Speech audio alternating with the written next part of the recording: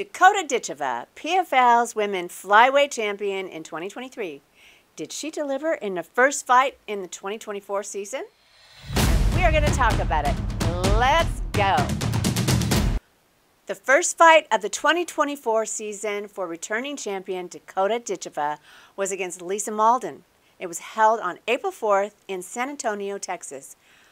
Both women came into the ring ready to do battle. Dakota's strategy was to use her height and reach advantage to strike and kick at Lisa without getting hit, using her expertise in Muay Thai and kicking. She's awesome, by the way.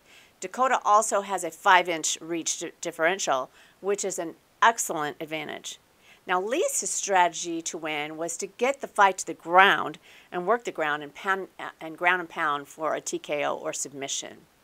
Right off the top, though, Dakota took center of the octagon control and began working her kick and strike advantage, taking and tagging Lisa and keeping the distance to her advantage. Lisa was really unable to defend her kicks and strikes, which gave Dakota the confidence to close that gap and move in with those powerful Muay Thai clinches. Oh my gosh.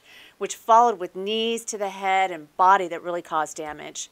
Some rolling ensued with both fighters able to get back up and standing to the standing position. Roughly about four minutes into the first round and a series of hard body shots, Lisa crumpled to the ground where Dakota really landed a lot of unanswered punches, leaving Lisa balled up in a total defense position.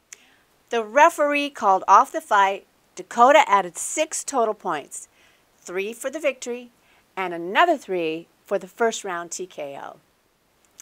Let's sum it all up.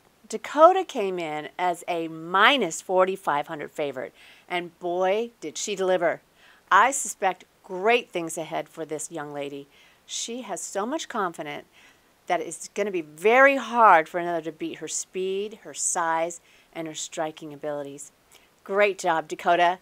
We look forward to your next fight in round two of the PFL in June. If you like this video, make sure you give me a thumbs up. Better yet, I'd love you to subscribe. That would just mean so much to me. And thank you so much for watching. Leave a comment below. If you watched the fight, I'd love to hear what your thoughts are. Have a great day. MMA Hot Lips, out.